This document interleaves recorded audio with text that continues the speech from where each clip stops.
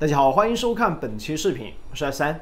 众所周知，最近呢，女篮世界杯正在进行当中，各大小组的一个对手呢，可以说是有人欢喜有人愁。首先，我们看到中国女篮在最近呢，以小组第二的成绩呢晋级八强，接下来将会面对法国女篮呢，来决出四强的名单。对于中国女篮而言，目前的成绩还算是相当可喜的。而对比之下的话，我们看到你，比如说像亚洲的强敌呢，日本队在最近啊，确实非常的糟糕。他们呢，在整个小组的当中的一个成绩呢，表现低落。那么最终呢，非常遗憾呢，无缘八强，提前了小组这个淘汰了。对于很多球迷而言，这其实是一个非常大跌眼镜的一个事情。日本队本身是奥运亚军，这一次居然连八强都没有进去，也确实呢，暴露了他们真正的一个实力。当然，其实除了日本队非常失意之外呢，那么另外一方面的话，在另外一个小组当中的一个竞争当中，同样呢也有一个球队啊，整体的成绩呢非常糟糕，最终呢已经提前淘汰。也许呢，就是因为整体的成绩太过于糟糕，他们在赛后的一个。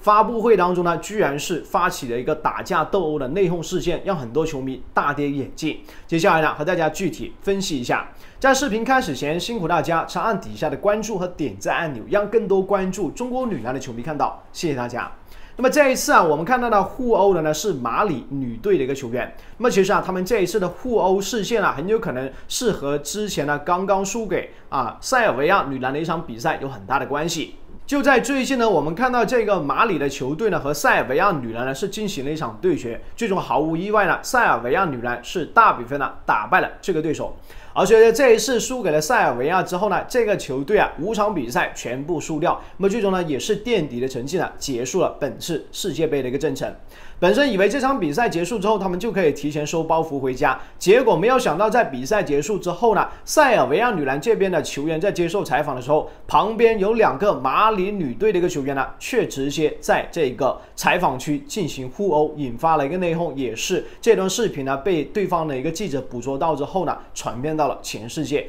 可以说呢是一个非常丢人，也是非常荒唐的一个丑闻。说实话，这一次啊，他们的一个球队去打这样的一个啊群殴的一个架的话，确实是没有必要，因为他们本身实力呢就不是特别强大。对于一个弱队来说呢，这一次输掉比赛也是非常正常，在后续应该回去好好反思一下，而不是在这里呢搞事情。因为我们可以看到呢，马里女篮本身这一次就是作为非洲冠军尼日利亚的一个替补，获得了这一次世界杯的一个参赛资格。之所以说尼日利亚这一次作为非洲冠军没有办法参加比赛呢，是因为他们之前因为资金的问题呢退出了本次比赛，才让马里女篮呢有了这一次替补的机会。所以我觉得其实对于这个球队而言，本身他们的实力就不是很强大，这一次有机会来体验一番呢，应该好好珍惜，不管结果如何，都应该开心的去接受。这样一来，后续其实最主要就是吸取从这一次啊失败的一个经验和教训，争取以后卷土重来，这才是最重要的。所以我觉得，其实这一次啊，马里女篮输球又输人，输了比赛之后呢，自己队内还打架，让这个事情传播到整个世界篮坛呢，确确实实是一件挺不光彩的一个事情。